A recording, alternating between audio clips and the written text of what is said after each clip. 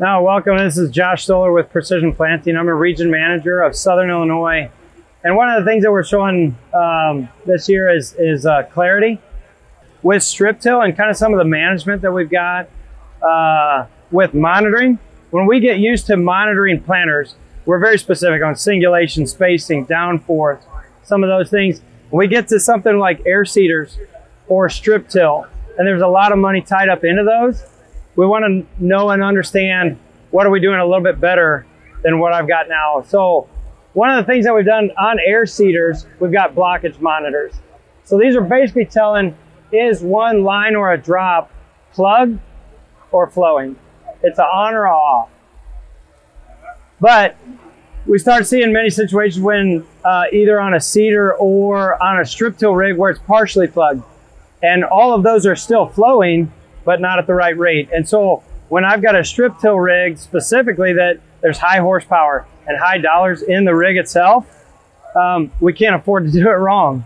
And so a lot of times when I see something that's partially plugged, say if I would have a chunk that's stuck in a meter roll and I've got 80% the flow, you know, we've got just for demonstration purposes. If I have it mostly plugged here and I start seeing that on the monitor, you know, I start seeing I'm dropping off on my consistency. I'm deviating from what I'm trying to do, right? And on this one as well, you can start to see if I've got all of those um, rows, I've got some that are low, some that are high. What is it? So on an air seeder, I would see maybe a tower that something's halfway stuck in there. So those are things that we could catch, you know, catch chunks, catch rocks, um, you know, where fertilizer prices were last year, thankfully they've come down, um, but it gets to be extremely expensive. And we've all seen that in the field.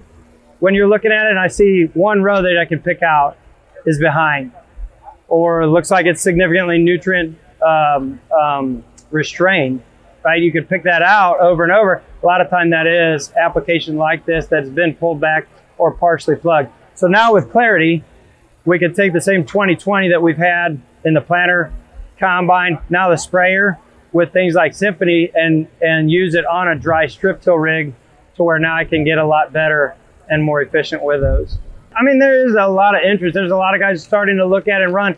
When we initially started with this, it was more focused on air seeders and I mean, basically non-singulated crops. And many of those were putting nutrients on with uh, the uh, air seeders. And so we looked at it, we're like, dry strip till. This is one of the things that we've been lacking in.